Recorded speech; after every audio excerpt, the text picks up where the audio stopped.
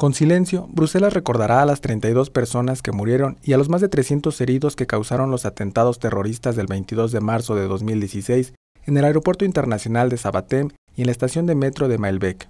En presencia del primer ministro belga Charles Michel, el primer minuto de silencio se realizará en la terminal aeroportuaria a las 6.58, hora en que la primera de las dos bombas estalló en las instalaciones del aeropuerto.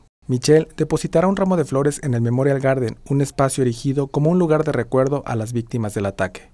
El ritual se repetirá en la estación de metro de Malbec, donde a las 8.11 tuvo lugar la tercera explosión de aquel martes.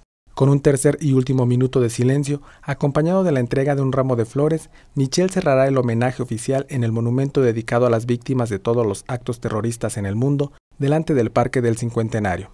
Dos años después del día que cambió sus vidas, muchos supervivientes dicen sentirse abandonados por el gobierno. Ni siquiera el fisco los ha perdonado, criticó el empresario Walter Benjamin, de 49 años, quien perdió una pierna en el ataque a Sabatem y tiene una deuda de 3.000 euros con Hacienda por el ejercicio fiscal de 2016.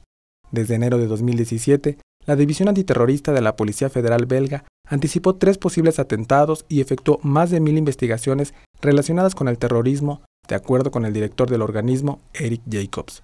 Con información de Marcia Bizzotto, corresponsal en Bélgica, Notimex.